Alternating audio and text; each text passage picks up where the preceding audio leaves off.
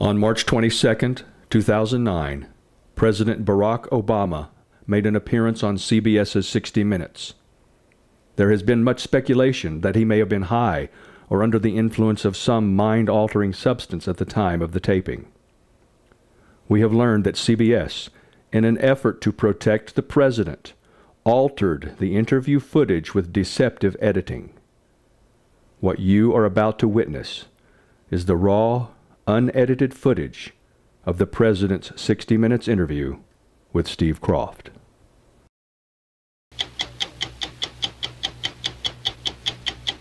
On the subject of the ailing automobile industry, the president said he is still committed to helping General Motors and Chrysler avert bankruptcy, but he says they have yet to demonstrate that they can remain economically viable, and there are major political obstacles. I, I just want to say that the only thing less popular than putting money into banks is putting money into the auto industry.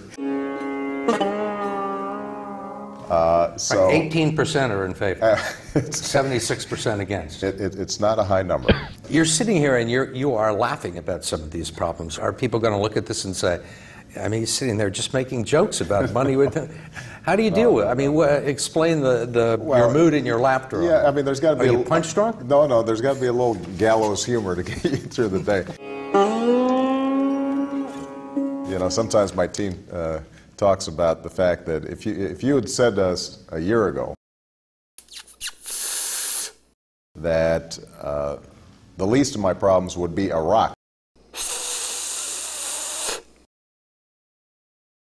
which is still a pretty serious problem, uh, I don't think anybody would have believed it. But uh,